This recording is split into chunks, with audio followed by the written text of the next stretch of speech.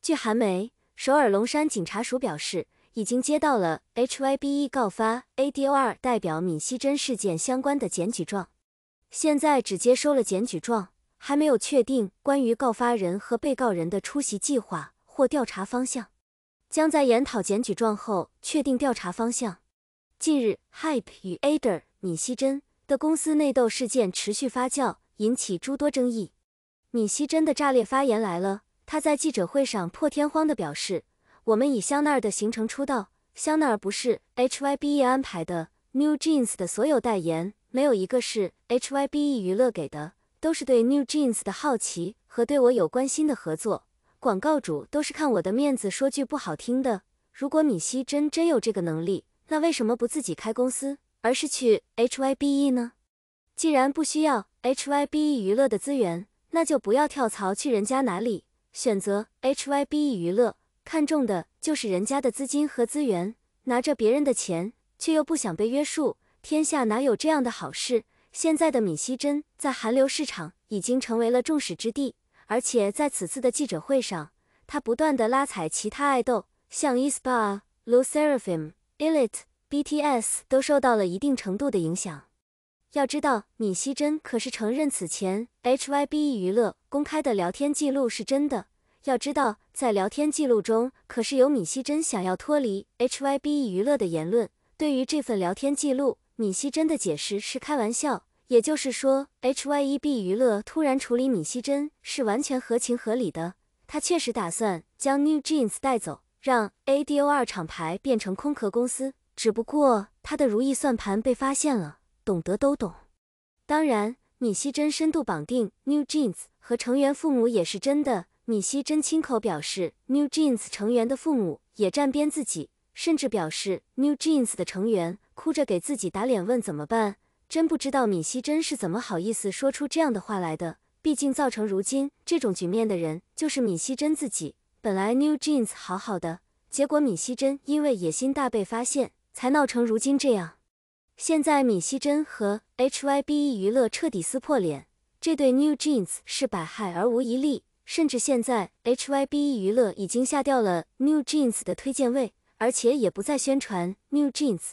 相信广大网友已经注意到了，New Jeans 已经沉寂很久了。以如今这样的情况，闵熙珍和 HYBE 娱乐已经到了有我没你的程度，New Jeans 的未来扑朔迷离。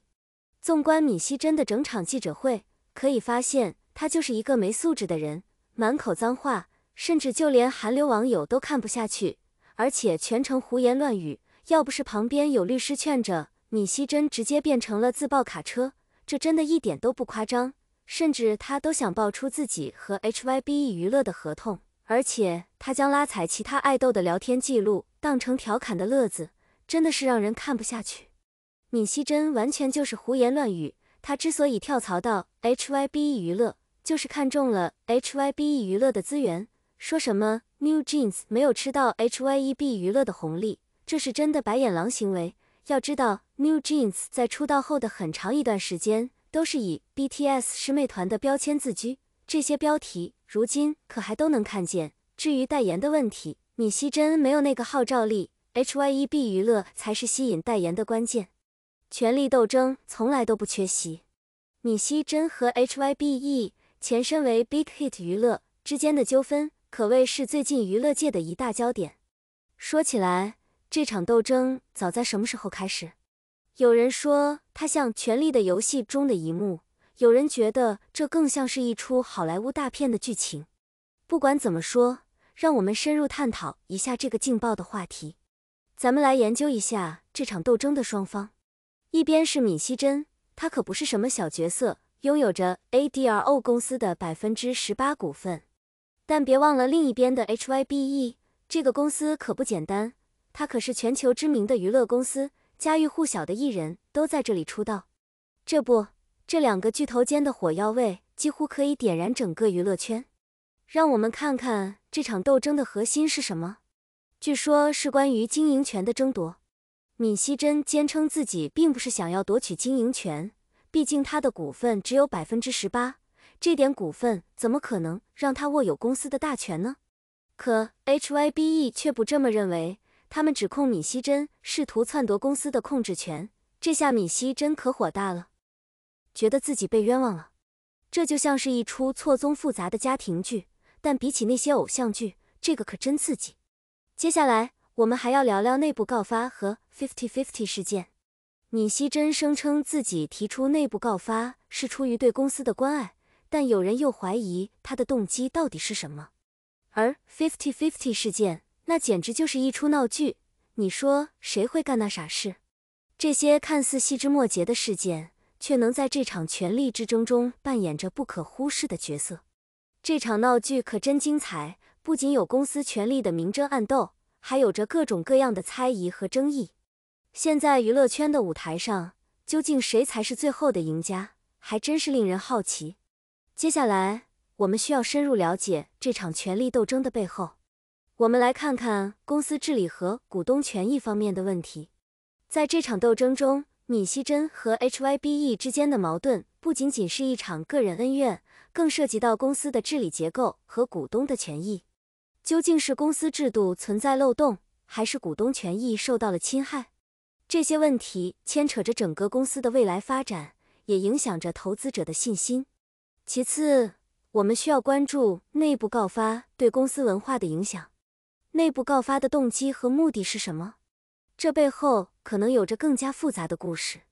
而公司的文化又是如何被这些事件所影响的？员工们的情绪和团队合作是否受到了影响？这些问题不仅仅关乎公司的运营，更关乎公司的核心价值观和企业形象。通过深入挖掘这些问题。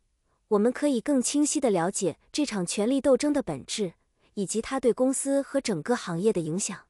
在这个复杂而纷繁的娱乐圈，我们需要更多的理性思考和客观观察，才能看清事情的真相，也才能更好地保护自己的利益和权益。他一人对抗 HYBE 大公司，就在他召开记者会澄清的同时，HYBE 一方面对他采取舆论攻击，指控他找巫师做法，送防弹去当兵。对方还告诉他，你三年内要吞下公司。对此，他也没否认，只在记者会上解释那位巫师单纯只是有人。